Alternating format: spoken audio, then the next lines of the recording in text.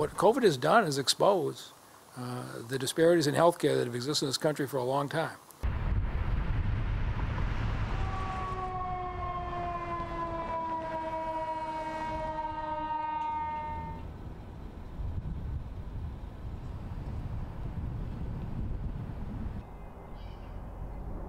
There is clearly a, a, racial gap in vaccinations in this state and in this country.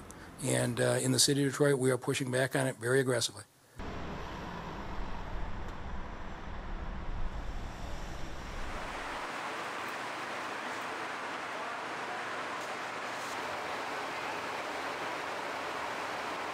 The TCF Center um, is a space that we believe will, will serve a lot of Detroiters um, in terms of in terms of being accessible to a lot of people at scale in our biggest city that was hardest hit by the pandemic. And this has just been a wonderful effort, and I think people are really responding to it well.